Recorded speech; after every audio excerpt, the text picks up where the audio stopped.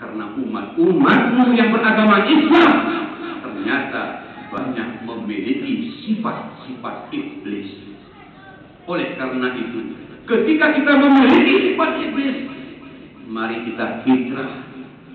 Mari kita merubah pikiran kita, merubah karakter kita, merubah kebudayaan yang tidak senonoh dengan aturan ajaran syariat agama Islam.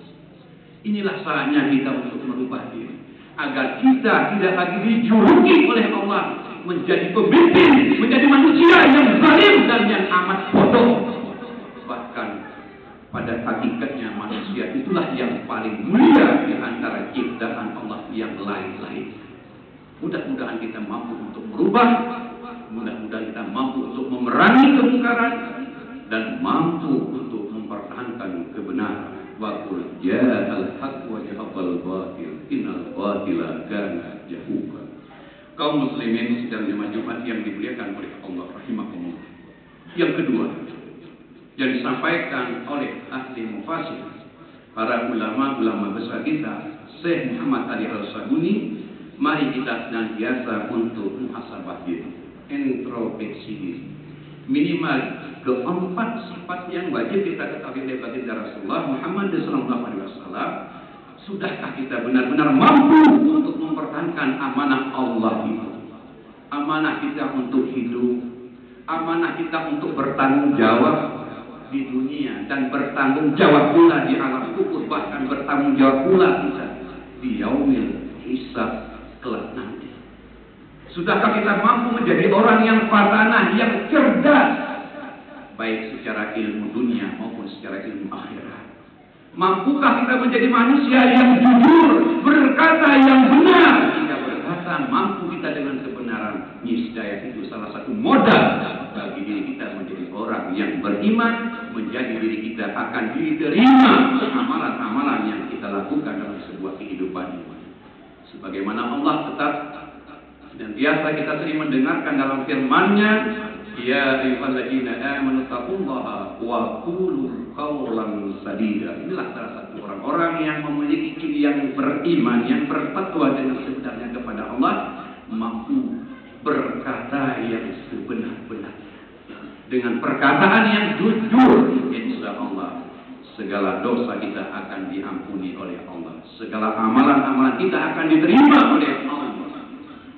Allah itu maha tahu dan insya Allah kita akan mendapatkan sebuah kemenangan yang amat besar di kemudian.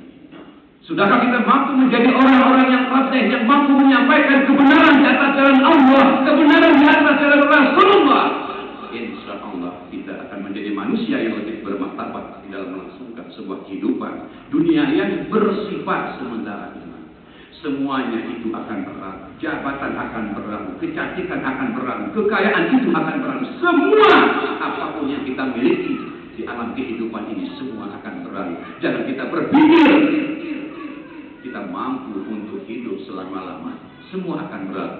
Namun pada hakikatnya yang diingatkan oleh Rasulullah tiga yang mengikuti mayat, tiga yang mengikuti jenazah, namun satu yang berada dengan kita hanya amal harta yang begitu banyak kembali kepada tempatnya. Keluarga yang kita cintai, istri yang kita cintai, anak yang kita cintai kembali kepada tempatnya.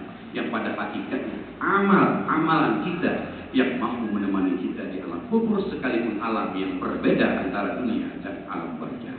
Yang terakhir, mari kita bersama-sama mengingatkan kematian. Kematian itu ternyata yang paling dekat dengan kita hari ini di hadapan kita, di telinga kita, di depan salah satu media sosial kita, bahkan hampir setiap hari kita mendengar inna lillahi wa inna ilaihi raji'un. Itu merupakan salah satu pembelajaran yang cukup terakhir bagi kita. Mau tidak mau, suka tidak suka, bahwa kematian yang jelas pasti akan mendatangi kita. Tinggal waktunya kapan malaikat maut itu menghadapi kita sesuai dengan yang diperintahkan oleh Allah Subhanahu wa taala. Dari itu persiapkanlah ketika kita untuk kematian. Jangan kita takut dengan kematian. Namun takutlah kalau kita tidak belum siap untuk mempersiapkan bekal menuju kematian itu. Mari kita tingkatkan keimanan kita. Ketakwaan kita kepada Allah Subhanahu wa taala dengan ketakwaan, dengan doa kita, dengan sujud kita, insya Allah ujian yang hari ini juga masih berhadapan dengan kita, insya Allah akan bisa dilenyapkan dan diangkat oleh Allah Subhanahu wa taala agar tatanan kehidupan ini mampu menjalankan aktivitasnya sebagaimana seperti biasanya. Itu yang sangat kita rindukan pada hari ini. Generasi kita, pendidikan kita hari ini sangat disayangkan. Bahkan kalau sempat setahun lagi pembelajaran sistem daring, lewat jaringan, lewat internet, lewat pakai duit, lewat pakai HP Android. Kalau terus menerus seperti ini, maka generasi kita semakin hari semakin hancur karena kita tidak sanggup untuk membenahinya dengan media-media yang sangat canggih pada hari ini. Mudah-mudahan dengan kota dengan doa kita bersama, dengan harapan kita bersama, insya Allah dunia ini akan menjadi aman. Negara Indonesia ini akan menjadi aman. Para pemimpin-pemimpin ini akan lebih dekat akrab dengan Allah Subhanahu wa taala. Mari kita untuk tetap beristiqamah menjalankan kebenaran itu karena Allah, menjalankan kebenaran itu karena ajaran daripada baginda Rasulullah Muhammad sallallahu alaihi wasallam. Amin ya Allah, amin ya rabbal alamin. Barakallahu lakum fil Qur'anil Karim wa nafa'ani bihi min al-ayati wa hakim wa taqabbala minni wa minkum وتعالى إنه هو الغفور الرحيم.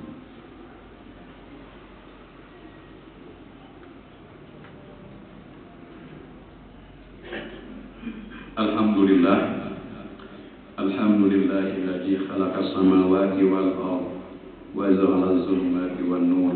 أشهد أن لا إله إلا الله وحده لا شريك له وأشهد أن محمدا عبده ورسوله.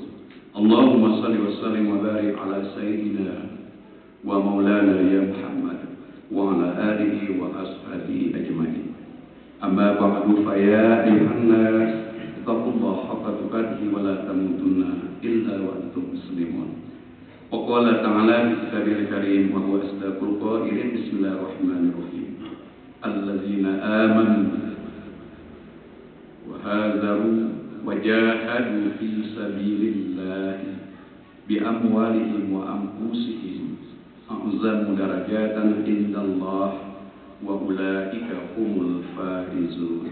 إن الله وملائكته يصلون على النبي. يا أيها الذين آمنوا صلوا عليه وسلموا تسليما. اللهم اغفر المسلمين والمسلمات والمؤمنين والمؤمنات الأحياء منهم والأموات إنك على كل شيء قدير. اللهم نبي